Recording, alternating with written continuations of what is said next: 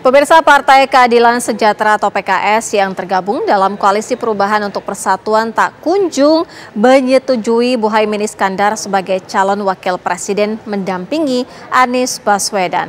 PKS masih berkutat menunggu hasil rapat Majelis Syuro Partai untuk menentukan sikap terhadap calon wakil presiden Muhaimin Iskandar.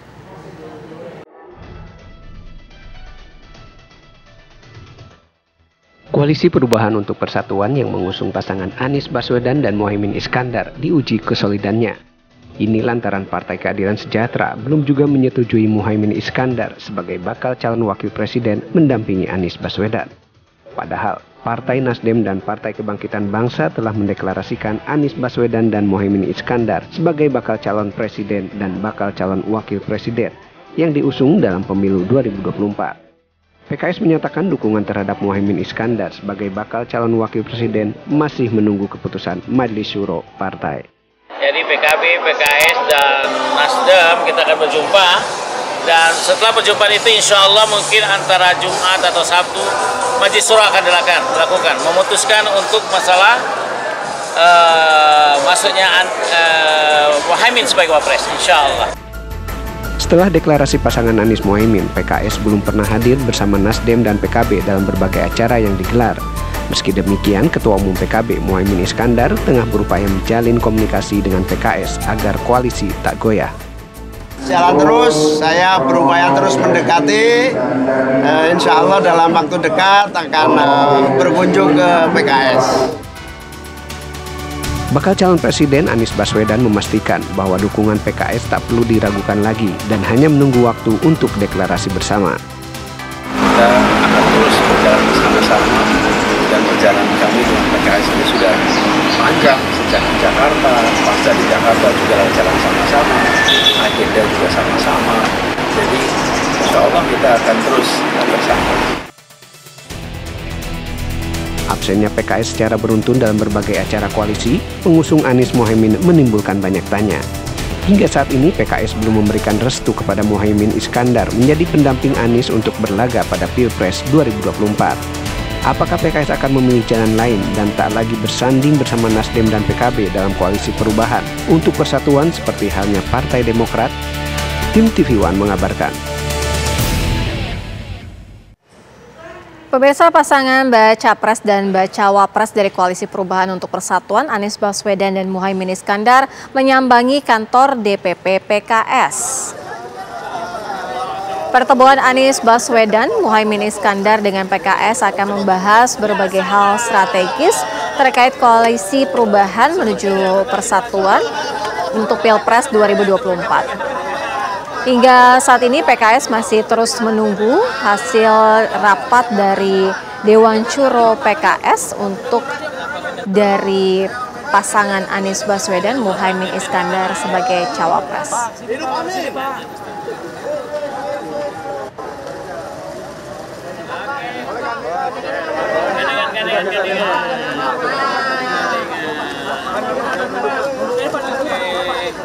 Coba lihat senyumnya.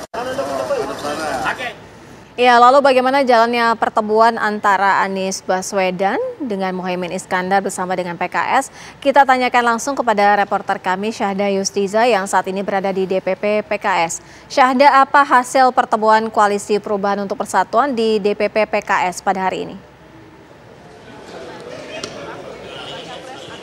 Baik selamat sore Sira dan juga pemirsa baru saja selesai. Ini saat ini sedang dilangsungkan konferensi pers terkait dengan dialog internal. Kami saksikan bersama-sama Sira. Teguh Juwarno dari Nasdem. Pak Muhaimin dan juga Pak Anies akan menyampaikan konferensi pers yang mungkin diawali oleh Presiden PKS. Lalu mungkin kalau mau dilanjutkan dari Pak Teguh, Pak Muhaimin, lalu Pak Anies. Pada Presiden PKS kita persilakan dengan hormat. Silakan, Sir. Izin. Assalamualaikum warahmatullahi wabarakatuh. Selamat siang, salam sejahtera untuk kita semuanya yang sama-sama kita hormati, kita banggakan bakal calon presiden Republik Indonesia Pak Anies Rashid Baswedan. Juga yang saya hormati, saya banggakan pimpinan Partai Nasdem dan yang saya hormati, saya banggakan Ketua Umum Partai Nasdem yang juga insya Allah diusung sebagai uh, bakal calon wakil presiden Republik Indonesia. Pak Abdul Muhaimin Iskandar. Insan pers hadirin sekalian yang berbahagia, alhamdulillah saya mengucapkan puji syukur kehadirat Allah Subhanahu wa taala bahwa silaturahim dalam kesempatan siang hari ini sungguh sangat luar biasa. Penuh suasana kehangatan, kekeluargaan dan dalam suasana yang lebih rileks dan santai. Tetapi insya Allah ini semua tadi menghasilkan hal-hal yang positif untuk semakin menguatkan kebersamaan menyongsong kemenangan pada 2024 yang akan datang. Oleh karena itu, uh, tadi saya kira semua sudah mendengarkan apa-apa yang disampaikan oleh saya, oleh Pak Muhaimin, oleh Pak Ahmad Ali, dan juga oleh calon Presiden Republik Indonesia. Saya kira uh, kita langsung nanti pada tanya jawab saja. Apa kira-kira hal yang ingin ditanyakan, yang ingin bisa lebih didalami oleh teman-teman media sekalian. Saya kira itu, terima kasih. Assalamualaikum warahmatullahi wabarakatuh. Assalamualaikum warahmatullahi wabarakatuh. Berarti langsung dari rekan-rekan, langsung ditampung dulu aja. Oke, baik yang paling dekat dulu silakan. Assalamualaikum Bapak-Bapak. Terima kasih atas waktunya. Saya Niko dari Harian Kompas.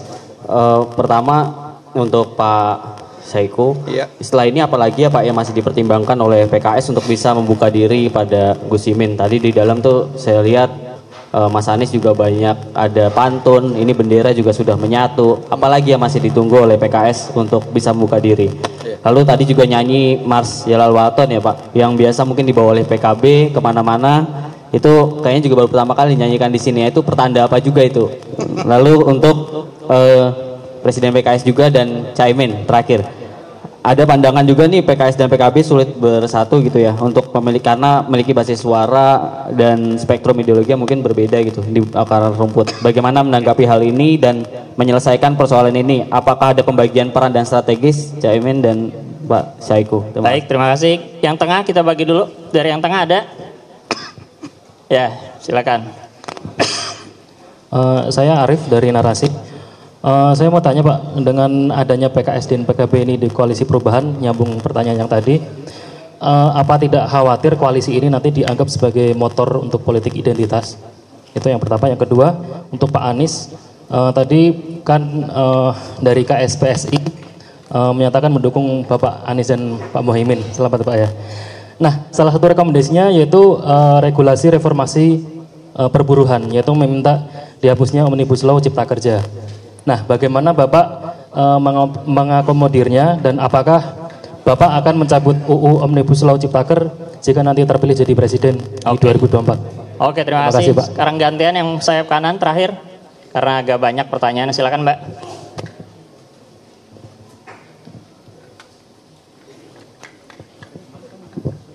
Assalamualaikum, izin Pak, saya Bella dari CNN TV. Uh, yang pertama terkait dengan hari ini pertemuan silaturahmi tiga partai, berarti artinya uh, eh, PKS sendiri sudah konkret, tinggal menunggu deklarasi ataupun uh, pengumuman dari Majelis Syuro atau ada mekanisme uh, selanjutnya. Yang kedua terkait dengan uh, ini soal isu Pak, kemarin kan sempat terjadi rusuh di Batam di kampung uh, warga Rempang. Tanggapan dari Pak Anies dan Caimin supaya tidak terjadi hal tersebut uh, kembali apalagi mengenai eh, anak-anak sekolahan begitu gas air matanya.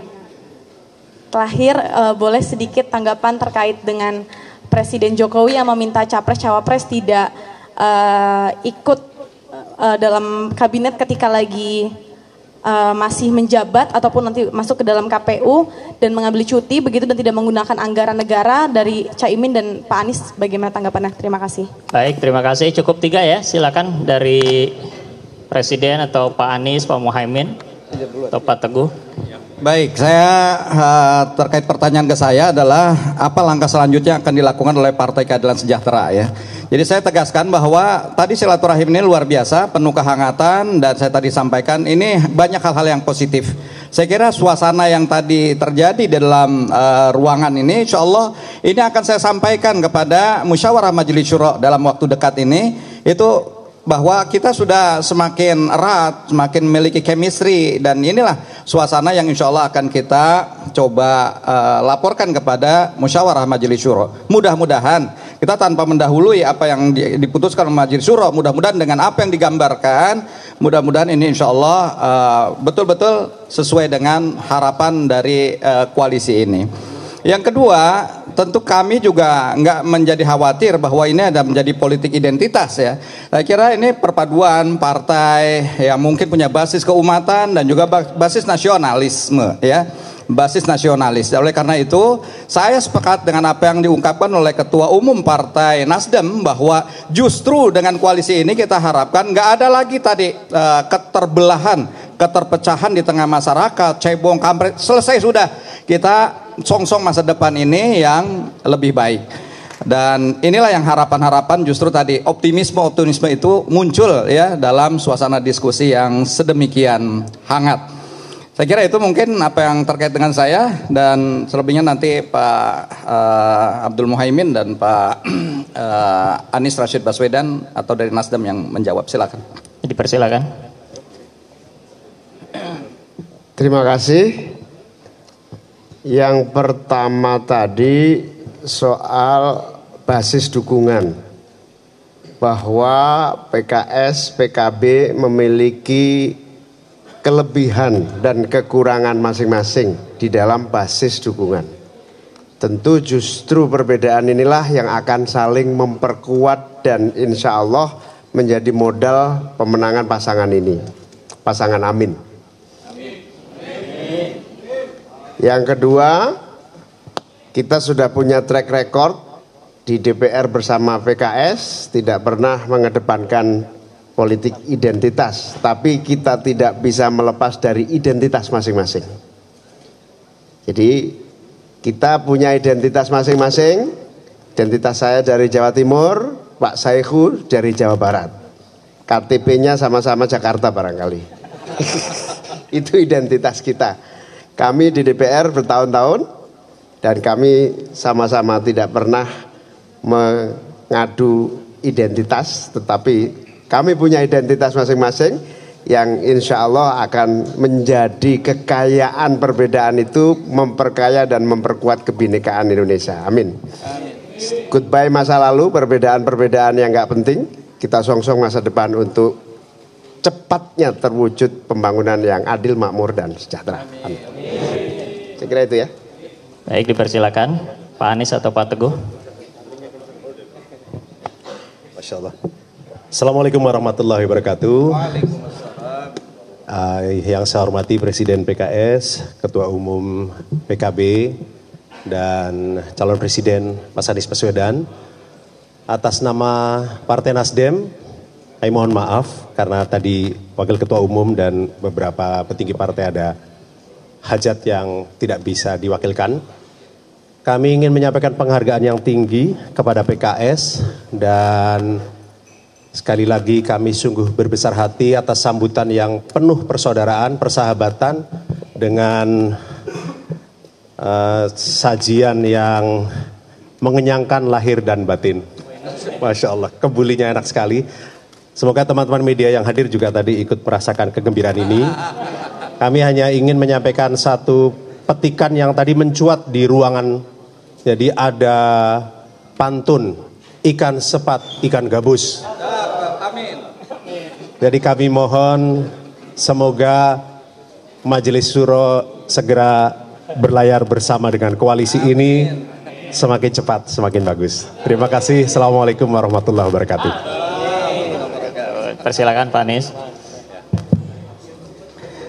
Uh, tadi terkait dengan uh, dukungan dari uh, eh, KS PSI, saya perlu garis bawahi bahwa prinsip yang kami kedepankan adalah prinsip keadilan dan perubahan yang kita dorong adalah untuk membuat kebijakan-kebijakan yang berkeadilan. Nah, rekam jejak yang ada selama ini memang mengedepankan itu. Selama Gus Muhaimin bertugas sebagai Menteri Tenaga Kerja, di situ ada rekam jejaknya. Bagaimana bekerja bersama dengan masyarakat buruh untuk membangun hubungan industrial yang sehat, yang berkeadilan. Begitu juga di Jakarta kebijakan-kebijakan yang terkait dengan perburuhan mengedepankan prinsip keadilan.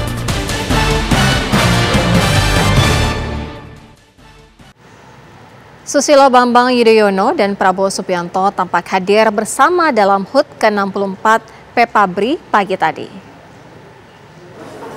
Presiden ke-6 Republik Indonesia Susilo Bambang Yudhoyono dan Menteri Pertahanan Republik Indonesia Prabowo Subianto hadir dalam acara ulang tahun ke-64 Pepabri pada Selasa 12 September 2023 di Wisma Elang, Jakarta Pusat. Susilo Bambang Yudhoyono atau SBY dan Prabowo hadir mengenakan batik berwarna emas dan memakai peci hitam.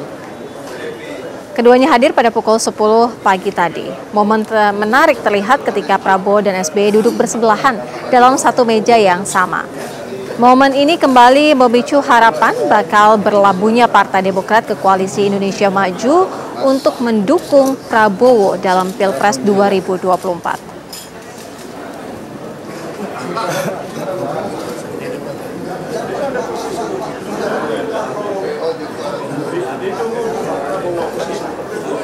Pemirsa sejumlah Kiai Nahdlatul Ulama dan puluhan ribu santri se-Jawa Timur mendeklarasikan dukungan kepada bakal calon Presiden Prabowo Subianto di lapangan Pondok Pesantren An-Nur 2 Al-Murtado, Malang, Jawa Timur. Sejumlah kiai Nahdlatul Ulama dan puluhan ribu santri se-Jawa Timur mendeklarasikan dukungan kepada bakal calon presiden Prabowo Subianto di lapangan Pondok Pesantren Anur 2 Al Burtado, Malang, Jawa Timur. Acara yang diselenggarakan pada Senin 11 September dihadiri oleh ratusan kiai yang ada di Jawa Timur, antara lain Kiai Haji Muhammad Hasan Rifai, pimpinan Pondok Pesantren Salafiyah Anur kemudian pimpinan Pondok Pesantren Darussalam Candu, dan juga ada pimpinan Pondok Pesantren Deresmo Surabaya.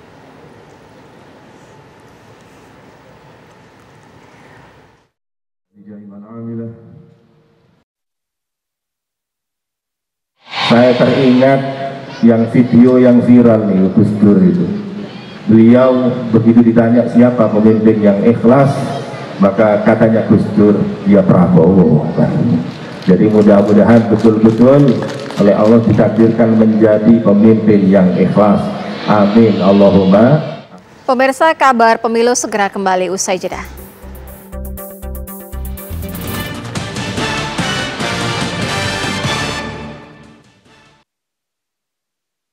Pemirsa manuver pendukung kandidat calon presiden semakin gencar dilakukan. Sejumlah relawan menggelar istighosah untuk kemenangan pasangan Anies Muhaimin di Brebes, Jawa Tengah. Sementara relawan Ganjar Pranowo menggelar bakti sosial di Tangerang, Banten. Pertama saya ucapkan terima kasih Relawan pendukung Ganjar Pranowo yang menamakan Gardu Ganjar melakukan bakti sosial di Caringin, Kecamatan Legok, Kabupaten Tangerang, Banten. Kegiatan berupa bantuan paket makanan bergizi ditujukan untuk masyarakat ekonomi menengah ke bawah. Salah satu bantuan berupa susu hingga sayuran gratis untuk bayi.